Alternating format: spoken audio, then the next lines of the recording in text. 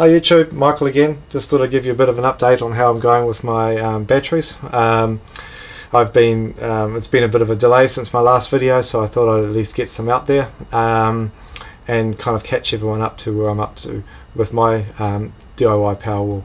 Um, I've seen some of the other projects that are kind of almost finishing, which is fantastic, or kind of getting to that finish line, which is great. I'm still kind of under 50% going uh, or done well under 50% uh, with my batteries. It's, it's a timely process. And one of these things um, while it sounds like a great plan to start with and you know we'll get the DIY Powerwall going um, it's it takes a lot of time. Um, you've really got to have the time.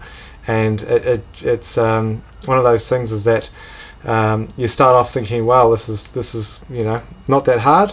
And then you soon realize how much effort that everyone else has really put into to their DIY Powerwalls and how far they've gone they've come um, so which which is fantastic. But one thing you, you learn along the way is that batteries aren't quick, and um, and the whole process from taking apart or from getting a laptop battery to taking it apart to charging it to discharging it to assembling it um, is quite a long process. Even and I'm not even up to the part of soldering or anything like that.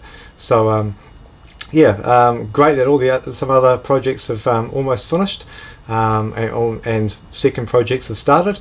Um, mine's um, getting there. Um, what I'll do is I'll just show you what I've got behind me.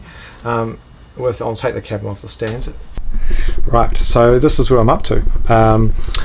These banks here uh, will kind of packs that I've just kind of put together. There's no reason apart from stacking why they're in um, groups of 200 but I've got a packet of 200 at the bottom there. Um, I'm almost at 200 at the top and if I come around this there you'll see.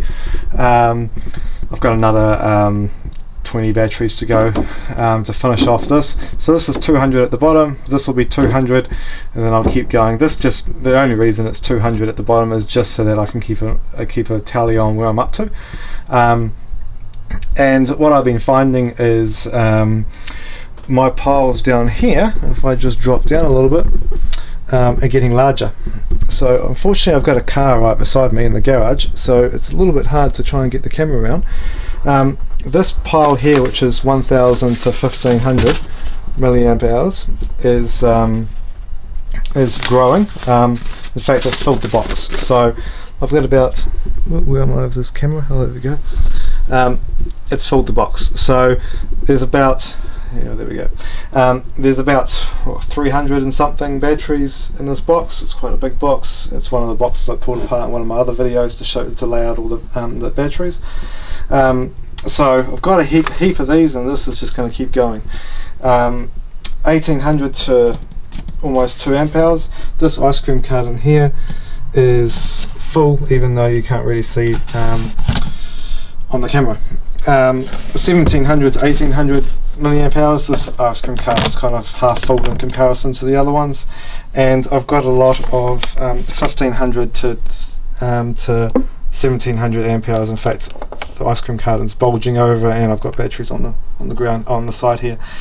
Um, so these are all going to be usable, um, not in these main packs that I'm doing up here, but um, they'll be used for, for other bits and pieces. But as you see, um, while taking apart um, some laptop batteries, um, what I've been finding is that not all of them, well, it's becoming very hard to get a whole good um, bank or batch that are going to be used for this pack. So a lot of them are going into these other boxes or these other containers down here.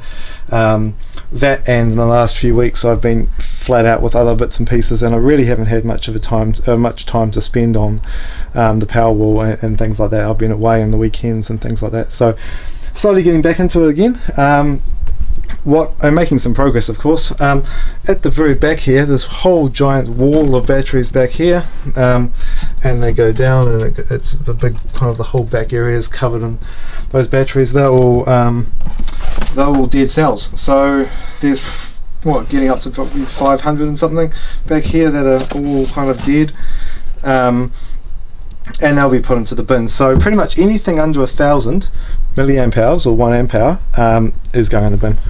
um, just there's no use for it. Um, there's no there's no need to store it. So right now it's at the back in there, but um, anything that's kind of a, a, um, a thousand to 1500 in this big box here will be used for other projects or other things like that. But um, yeah, so that's a bit of an update, um, and I'll just put you back onto the stand.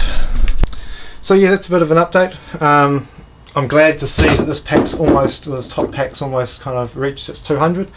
Um, and hopefully get um, the next pack started and over the next couple of days um, hopefully we'll get 20 cells um, that are 2 amp hours and above to finish that off by the end of the week that'll be good that's the kind of a goal um, and yeah that's the bit of the, bit of the update for now it's a long process things take time and um, I just need to get onto it. I just need to, to stay uh, ahead of the charges now. Um, we're taking apart those laptop batteries.